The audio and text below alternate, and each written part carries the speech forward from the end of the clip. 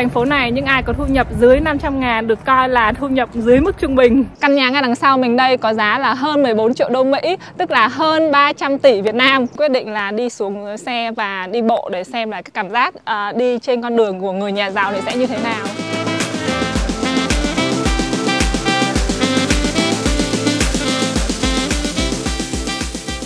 Xin chào các bạn. Bữa nay Kelly sẽ dẫn các bạn đến thăm một thành phố giàu có nhất nước Mỹ nha. Bây giờ mình đang trên đường đi đây. Hôm nay trời hơi bị âm u một chút. Từ nhà mình lên khu đó thì hết khoảng 20 phút. Đây chính là Atherton, nơi mà mỗi hộ gia đình có mức thu nhập trung bình là vào khoảng 525.000 đô một năm. Con số nghe dễ sợ không các bạn? Mức thu nhập trung bình ở Mỹ là 70.000 đô một năm. Vậy thì con số này đã cao hơn gấp 7 lần so với mặt bằng chung của nước Mỹ một con số đúng là mơ ước đối với hầu hết người dân ở Mỹ. Atherton thực chất chỉ là một cái thị trấn nhỏ ở Bắc Cali, thị trấn này chỉ có khoảng à, 7.000 dân cư mà thôi. Đây cũng là lần đầu tiên Kelly đến với thị trấn này. Mình biết được cái thị trấn này là qua một lần à, đọc báo nên cũng rất là tò mò. Ấn tượng đầu tiên khi lái xe đến đây đó là cái ừ, thị trấn này nó khá là hẻo lánh Đường xá thì nho nhỏ đúng như kiểu nhà quê đó các bạn Và có rất là nhiều cây, toàn cây bự không à trong 3 năm liên tiếp, Atherton là thành phố có cái giá nhà đắt nhất nước Mỹ luôn. Giá nhà trung bình ở đây là vào khoảng 9 triệu đô la Mỹ nha. Đây là con số của năm 2022 thôi. Còn năm nay thì chắc chắn là nó còn lên cao nữa. Vậy thì những ai có khả năng mua nổi những căn nhà ở đây, mình Google một cái là ra một list toàn những cái người nổi tiếng và tỷ phú ở đây thôi nè. Nhìn sơ một lượt là mình có thể thấy có rất nhiều nhà sáng lập và lãnh đạo hàng đầu của các công ty công nghệ lớn trên thế giới như là Google, Microsoft và Facebook và rất nhiều những nhà đầu tư mạo hiểm hoặc là các ngôi sao thể thao uh, như là bóng chày, bóng rổ, bóng đá ở Mỹ ở đây. Có thể nói những người ở đây phần lớn là từ hàng triệu phú, kiểu như là có mấy chục triệu đô la trở lên cho đến hàng tỷ phú. Atherton nằm giữa thành phố San Francisco và thung lũng Silicon Do đó, nơi đây từ lâu đã được giới nhà giàu lựa chọn làm nơi ở lý tưởng vì vừa đủ cách biệt với thế giới ồn ào bên ngoài, lại vừa gần những nơi mà người Mỹ gọi là where the action is, như là San Francisco và trụ sở của một loạt những công ty công nghệ lớn. Từ Atherton lái xe đến trụ sở của Google hay là Facebook thì chỉ mất khoảng 10 đến 15 phút mà thôi. Các bạn ơi, mình quyết định là đi xuống xe và đi bộ để xem là cái cảm giác uh, đi trên con đường của người nhà giàu thì sẽ như thế nào thực sự thì ở đâu cũng như thế. Đất cũng là đất đúng không? Các bạn nhìn này ở đây á nó còn uh, gọi là tệ hơn là không có đường cho người đi bộ nữa. Mình phải đi ở trên uh, đường đất này hoặc là đi trên đường dành cho xe luôn á. Và cái đường ở đây các bạn thấy đường xe chạy á chút xíu à ha. Ở đây là người ta không có phân lên luôn á. Khu nhà giàu đấy các bạn ơi. Ở đây toàn những là nhà bự ơi là bự siêu bự luôn á.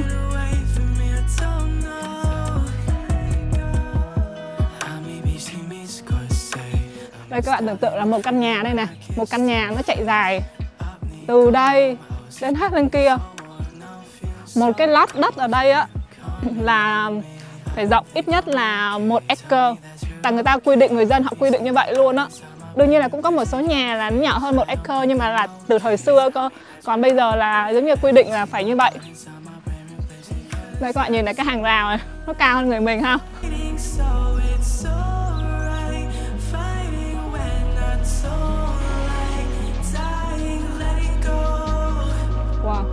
Y như là mấy cái uh, resort resort các bạn thì không khác gì luôn á. Wow.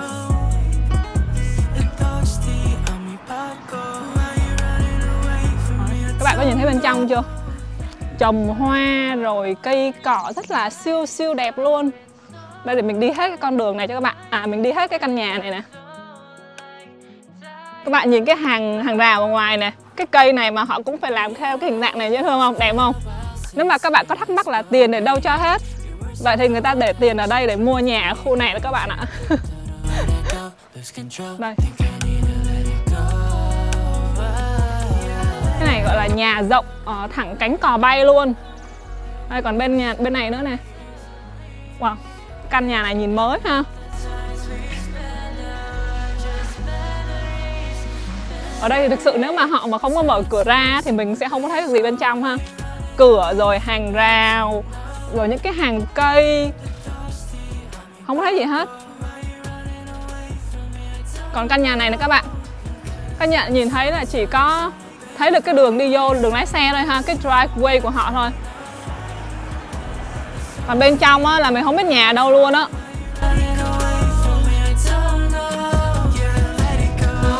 Đang có mùa hoa đào đẹp quá à. Thì có thể nói là wow wow và wow rồi quá đẹp luôn. Mình nghĩ là bạn nào mà muốn mua ở đây thì chắc là cần phải trúng ờ, mega million. Ra ờ, gọi là siêng mua vé số thì sẽ có cơ hội. Hi, morning. Nãy giờ mình đi bộ đó các bạn, là gặp những người đi bộ trên phố này là toàn những là mỹ trắng không à? Thì đúng là cái gọi là cái tỷ lệ dân số ở đây là hơn 70% là mỹ trắng nha sau đó là dân châu Á chiếm chừng 20% còn lại là uh, những cái gọi là những cái dân tộc ờ, sắc màu khác. Đây khu này đang xây dựng này các bạn. Các bạn thấy họ xây nhà cũng toàn nhà bự khủng không à.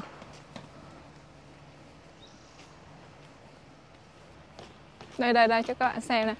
Chắc là họ đang định xây theo căn nhà như vậy hả? Phải không ta? Không biết luôn. Mà nhìn uh, cái đang xây thấy cũng khá khá giống á đây các bạn nhìn này họ xây nhà kiểu như vậy nè wow.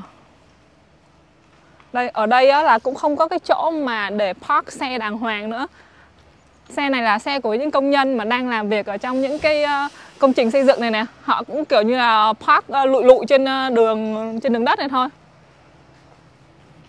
Khu này là cực kỳ exclusive chỉ dành cho người giàu. Người giàu và siêu siêu siêu giàu. Atherton có rất nhiều những công trình nhà đang xây dựng. Theo thống kê ở khu vực này thì khoảng 50% những căn nhà sau khi được bán đi thì sẽ được chủ mới đập đi hết và xây lại hoàn toàn. Họ xây lên những căn nhà, những căn biệt thự còn bự hơn lúc trước. Giá tiền người ta bỏ ra để mua một căn nhà ở đây có thể là 8 đến 9 triệu đô, nhưng mà thực tế thì số tiền đó dùng để mua miếng đất thôi, vì mua xong thì họ cũng đập đi xây lại mà. Đúng là nhà giàu có khác, tiền chỉ sợ không có chỗ để xài mà thôi. Đi ở trên khu này đó các bạn. Uh, thực sự là hầu hết là chỉ thấy xe thôi ha. Người cũng có nhưng mà không có nhiều lắm. Tại vì chắc người dân đây họ cũng không đi bộ cái đường vậy sao đi bộ được? Đây camera đây các bạn. Đây ha. Biệt phủ mà. Độ tuổi trung bình ở thị trấn này là 49 tuổi thì cái số tuổi này cũng phản ánh rất là đúng cái mức độ giàu có ở đây, mình nghĩ như thế. Vì thường thì phải đến một độ tuổi nhất định nào đó thì người ta mới xây dựng cho mình được một cái cơ ngơi khủng như vậy. Và đương nhiên là mình cũng phải ngoại trừ những cái trường hợp mà được ờ, thừa hưởng gia tài rồi ha. Khi lái xe lòng vòng ở đây thì thực sự là mình cũng chẳng thể nhìn thấy nhiều được đâu. Các căn nhà ở đây dường như là đã được bọc kín bởi tường cao, hàng rào hoặc là các bụi cây chỉ có thể thấy lấp ló đâu đó căn nhà to khủng trên một miếng đất rộng bao la. Dường như là giới nhà giàu lúc nào họ cũng thích sống ẩn mình ở mấy khu riêng tư biệt lập và bao quanh bởi thiên nhiên. Atherton chính là nơi như vậy. Một căn ờ, biệt phủ lấp ló đằng sau dạng uh, cây thông này nữa nè. Cái căn nhà 267 này các bạn là nhà của ông uh, co-founder của Microsoft Paul Allen nữa nha bạn nhìn thấy cái cổng nè đó cái này là gated house bên trong kia cái này là mình chỉ có thể thấy cái cổng mình không thấy nhà luôn á bên trong là đi sâu vô chắc là lâu đài bên trong trống đó Ngôi nhà này được ông Paul Allen mua vào năm 2013 với giá 27 triệu. Sau khi ông mất đi thì ngôi nhà này được bán lại vào năm 2020 với giá 35 triệu đô, tức là gia đình ông đã lời được khoảng 8 triệu. Căn nhà này có 6 phòng ngủ, 9 phòng tắm và khuôn viên thì rộng thanh thang gần 2 acre. Bên trong thì có hồ bơi và những cái loại hình à, giải trí thể thao khác. Mình nhìn những cái tấm hình này á, thì mình mới biết được là cái giới siêu giàu họ sống như thế nào ha. Mình đọc trên báo thì mình thấy là những cái người dân ở khu này họ cũng phản đối cho phép xây dựng những cái căn um, multi-family house. Họ chỉ muốn cho nhà single house thôi tại vì thực sự là nếu mà cho phép xây những cái căn gọi là multi-family house á, thì là cho những cái người gọi là middle và low income đúng không ở đây giống như là họ chỉ muốn là dành riêng cho những cái người có cùng đẳng cấp với họ. Những người gọi là đại gia người giàu muốn sống cùng những người giàu. Họ không có muốn cho những cái người nghèo gọi là có đất có đất sống ở đây, nhìn nè đường đi vào nó bự như này cơ mà không có thấy nhà ha. Mình nhớ có một câu nói đại ý như là đừng nghe những gì người giàu nói mà hãy nhìn những gì họ làm câu nói ấy rất đúng trong trường hợp này của ông tỷ phú Mark Andreessen nè.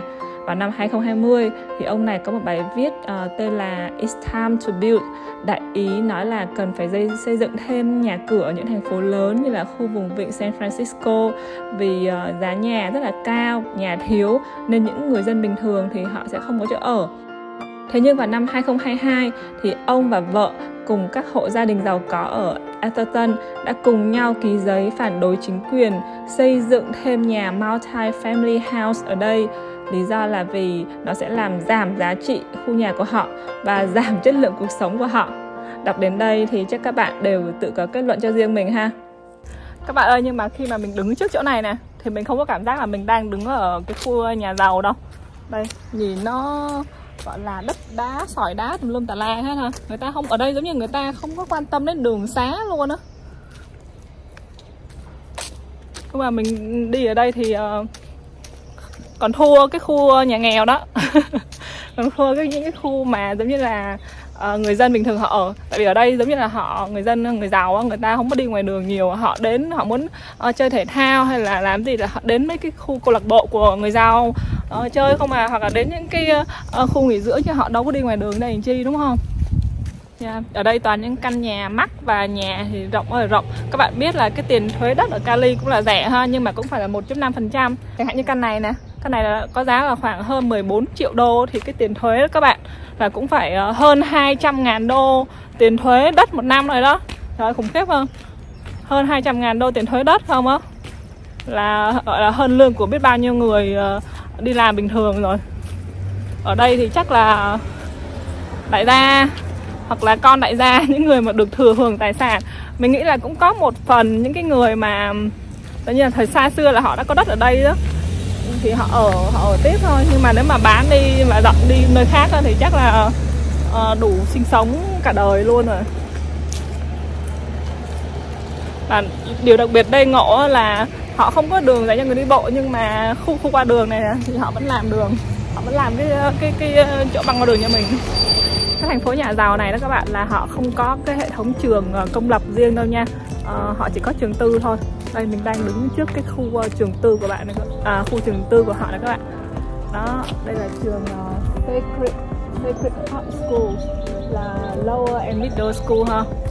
Đó. Cổng đóng rồi. Cái tiền học ở trường này là các bạn là cũng uh, rất là đắt nhá. Là uh, từ um, lớp 1 cho đến lớp 5 á, là có giá là khoảng 37.000 đô một năm.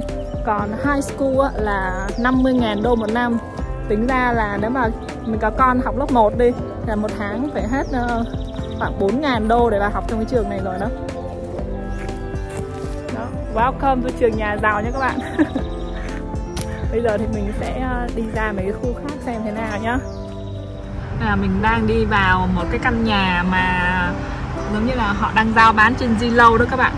Và đây là cái căn nhà mà gọi là có giá bán thấp nhất ở trong cái khu vực này mình xem là cái nhà này như thế nào xem bên ngoài thôi nha nếu bạn vào Zillow tìm nhà bán ở Atherton thì chắc chắn là bạn sẽ cảm thấy choáng ngợp vì giá cả 13 triệu, 14 triệu, 44 triệu hoặc là 22 triệu. Một trong những căn nhà mà mình thấy rẻ nhất ở đây là cái căn hơn 5 triệu này nè là có 5 phòng ngủ và 4 phòng tắm. Diện tích thì cũng thuộc dạng nhỏ ở khu vực này thôi vì lót đất này có khoảng ờ, là 6.700 square feet.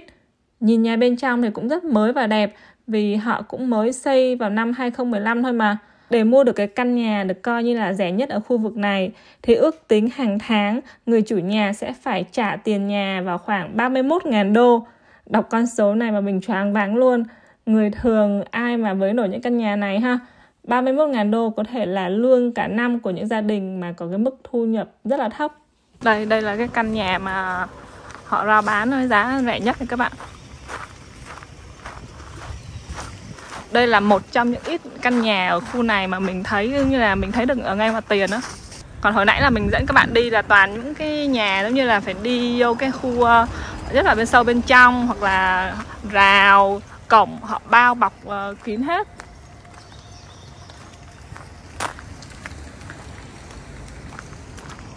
Khu, những nhà khu này thì giá giá có vẻ là sẽ là hợp lý hơn. Tại vì cái lót là nhỏ hơn này các bạn không? Cả thị trấn Atherton không có mảnh đất nào được dùng cho mục đích commercial thương mại, ăn uống hay là shopping cả. Chỉ toàn là biệt thự nối tiếp biệt thự mà thôi. Cái mình thấy duy nhất ở đây á, đó là một cái câu lạc bộ có tên là Menlo Circus Club nơi đây là cái nơi mà giới nhà giàu Atherton tụ tập lại để giải trí tiệc tùng, chơi đua ngựa hoặc là xem những giải đấu polo match. Khi lái xe ra khỏi khu dân cư thì mình bắt gặp một cái trục đường chính, có thể thấy giải rác một số hàng quán và cửa tiệm ở đây. Nhưng mà khi mà mình về nhà kiểm tra lại thông tin thì hóa ra con đường này và những hàng quán này đều không thuộc về địa phận của Atherton như các bạn. Nó thuộc về thành phố lân cận là Menlo Park hoặc là Palo Alto. Chỉ cách có một con đường thôi mà các bạn nhìn thấy sự chấn lọc không? Một bên là những căn nhà cả chục triệu đô, còn một bên là những hàng quán và những con đường nhìn khá là sập sệ nơi cuộc sống của những người dân bình thường diễn ra.